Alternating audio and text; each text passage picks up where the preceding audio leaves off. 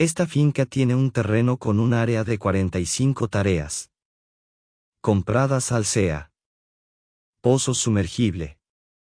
Una casita. Siembra. Cacao. Limón. Servicio eléctrico. Mango.